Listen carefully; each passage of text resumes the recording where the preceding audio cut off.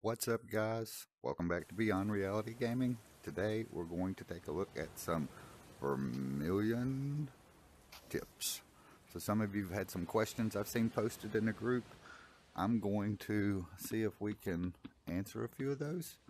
I'm no professional, but I've figured a couple of these things out, I believe. I'm going to just share what I know.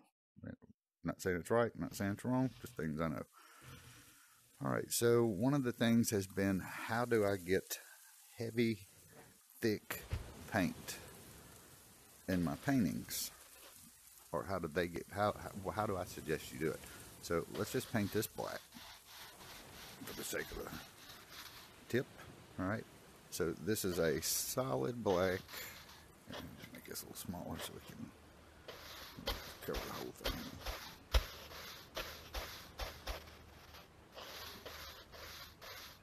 Alright, so now you got a solid black. And the reason that's solid black is the canvas mixing sensitivity using this gear icon is all the way down to zero. And the paint thickness is all the way up on the brush, right? So whenever I load the brush, it's going to really pile that paint in there. Alright, so if you want to get thick paint, I usually use this brush and I, and I did a well with some water and that's really where the thick paint kind of played. It's because it gave it depth but thick paint just like that. All right so if I went in here and I turned this to the default and still kept the paint all the way up it starts blending right? Turn it up blends it out faster. All the way up.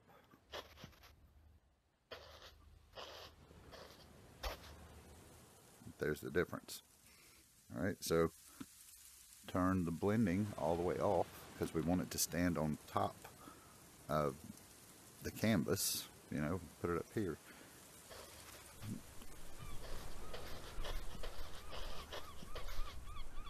Let's see what this brush looks like. So you can see when I get right in here that that paint, especially with a full brush, full, right? And if you just keep applying it over top of it, it makes it thicker and thicker and thicker. But once you get so thick, you start smashing it down. So a lot of times I'll use this for uh, like on my mountains uh, or with a palette knife. Let this do that. Alright, so you can kind of see how thick that is. Again, if I put it up to the default and do the same thing, load it up, get it full. Let's see the difference. So see, it's not nearly as rough as whenever it was full. Yep. So if I turn my paint thickness down, there's what you're going to get, right? If I turn blending or canvas paint mixing off, now it's as thick as it could be. Look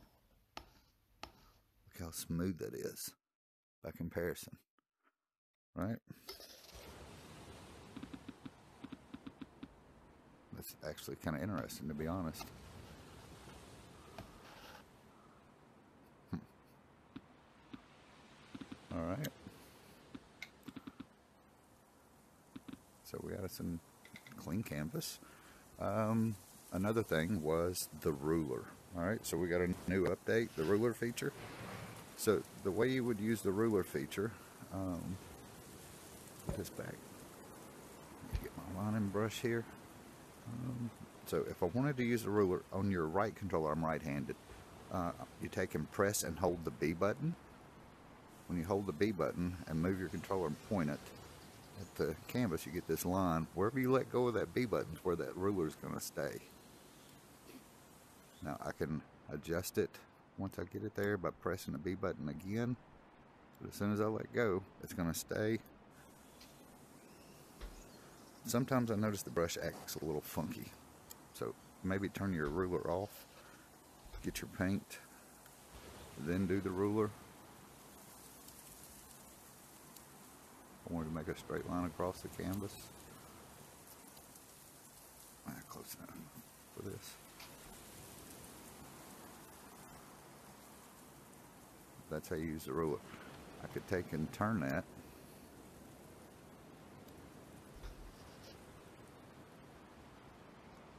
And go any direction I want. Quick.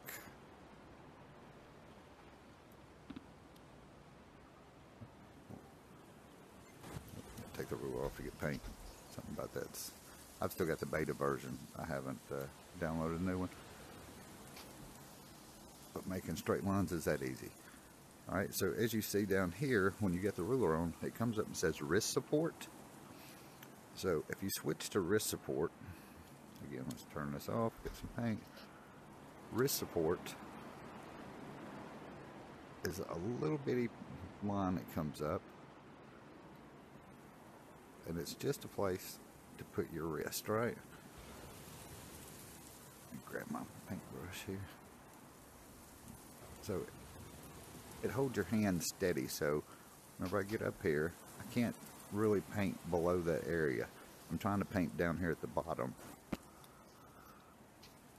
As you can see, as you can see that just kind of keeps your keeps your brush up here. I'm trying to pull it down. I'm gonna try and pull it straight down towards the black paint down here. You can see I cannot. I'm pulling, I'm pulling. You can see my hand right there. Look how far I'm pulling won't let me come down, then all of a sudden it jumps down. So that's just kind of a place to lay your hand while I'm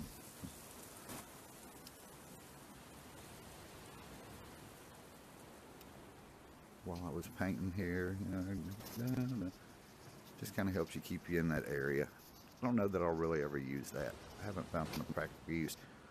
So it really doesn't, you can grab the brush back further and make it go up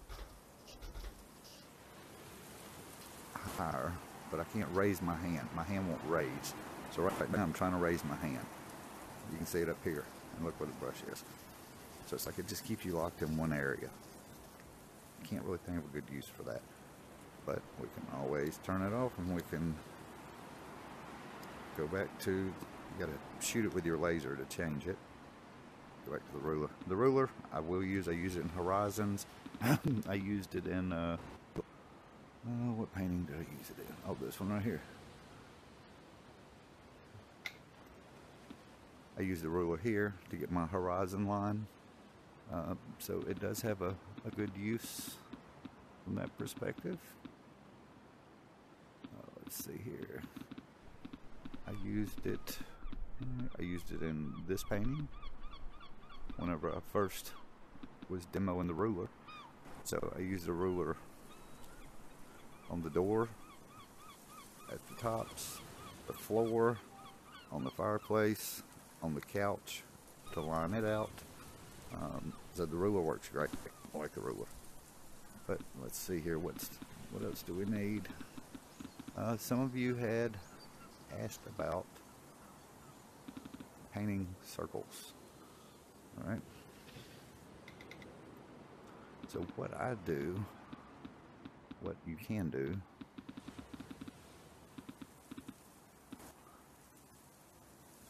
is actually search circle.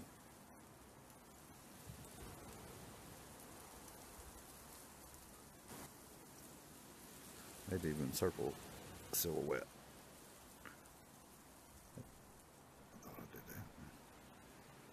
space.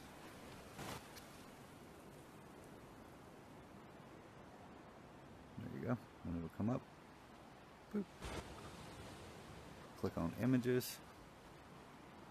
Alright, so then we get us a bunch of circles. You can choose any of them, right? So let's say this one. What you can do once your canvas is white, if it was green this wouldn't work, but once it's white, click on this projector right here let's say we wanted to use that circle. If I put that back, I can size this image, right? I can make it big, I can make it small. So let's say I was gonna maybe make a planet or something, you know, it's painting space or whatever. I need a round circle. I like to use my liner brush at this point. Load it up. Make sure the settings are paint thickness all the way up. Mixing sensitivity all the way down. Press the B button. Alright, the B button, what it's going to do is it's going to give me a steady hand but it's also going to snap to that black that you see there. It's not going to snap perfect. It still gives you room for error, but it absolutely helps you stay on the outline of that right there. So you, you'll be able to see, follow the tip of the brush. Once you get on it,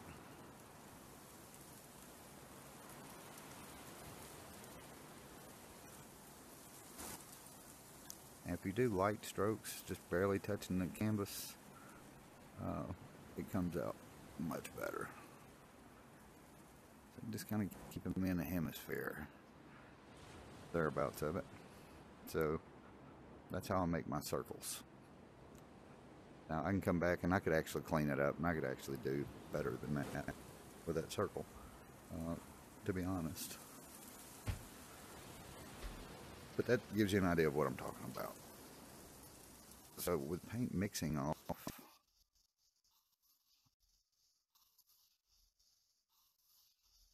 let's say that was your circle there, all right? What I would do, I would come back, I'd have another color here. Let's say the color on the outside was white. Paint mixing is still turned off. But that's how I would come back and work on taking care of that taking care of that circle, right? I just trim off what I don't want. I may even have to come back over it with black to get what I actually want to end up achieving. I shake like I got Parkinson's disease, so you don't want to use me as an example for a nice clean circle, but that is how you would make it using Vermillion, because it absolutely will snap. See right there, press B to disable eyes, or to disable hand stabilizer. Well, when you're shaky as I am, you need all the doggone help you can get. So, anyway, that's that. Uh, let's see, was there anything else that you guys wanted to know? Oh, how to get your own reference images, say your family members, whatever, the kids, the grandkids. So what I do is you can go into search right here. Click on the search. I'll search Facebook because that's where I would have to put my pictures. Just click on Facebook. You go ahead and log in, sign up, I've already done this, so you'll have to log in. It'll take me straight into my my page. Actually, just just like I, if I got on a computer, there's my granddaughter. She graduated yesterday from kindergarten. So proud of you, Bradley. Uh, but let's say there's there's your reference image. Well, there it is. But let's see.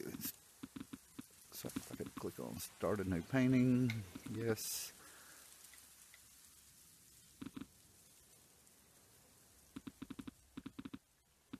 There. Turn the projector on. There she is. Put this down.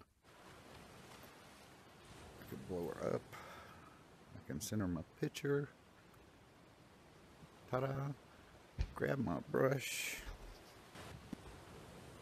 And I would be, oh, I would be totally ready to paint this picture of my granddaughter.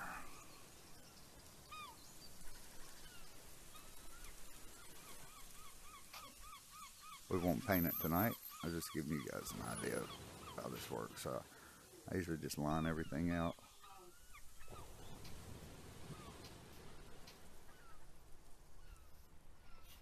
So again, that's with the B button. It totally kind of helps you stay on the outline of what you're doing, I do believe. I could be wrong, but it sure seems like it to me and you can almost notice it when you get right up here on it you can watch the paint. Like it, you see the paint jump. That's like it. It jumps to it. Um, like right here. See if you can see it jump. Trying to make it jump. Usually notice it more when I have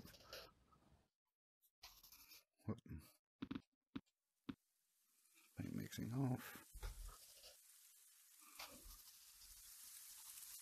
Usually notice it when you have very big contrasting colors, white and blacks.